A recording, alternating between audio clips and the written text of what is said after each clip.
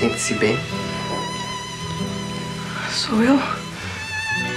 Você sabe quem é? Sim. Eu sou Clara. Clara Caldeira Brant. E eu? Você me reconhece? Faz-me ser. Sim. Eu conheço. Mas eu conheço e desconheço. É estranho.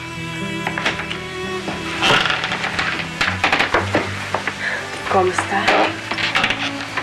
Ser. Eu me lembro do seu rosto como escrava. Mas seu rosto assim, de peruca, também não me é estranho. Chica. Chica. Muita coisa aconteceu com Voz você.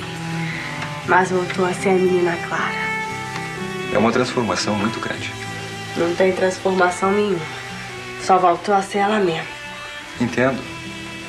E ao mesmo tempo é surpreendente. Mas a mim você nunca conheceu. Eu me lembro do seu rosto também. É confuso. Esse é o novo contratador. O meu contratador. Como se muita coisa eu lembrasse, mas tudo através de uma neblina. O negro que cuidava de vós me dizia que tinha incorporado o Xum. É um orixá africano, uma deusa das cachoeiras. Eu não sei. Mas eu não sou mais quem eu era. Me lembro de um lugar bonito. Me lembro dessa casa também. Eu não entendo o que é comigo. Só vim saber se estava bem.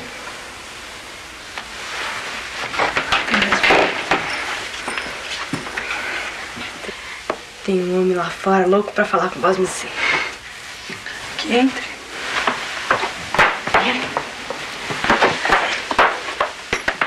Senhorinha Clara?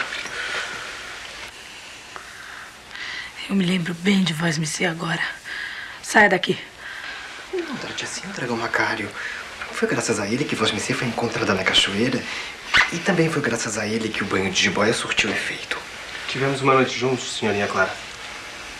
Para que me perdoe todo o mal que lhe causei, gostaria de pedi-la em casamento.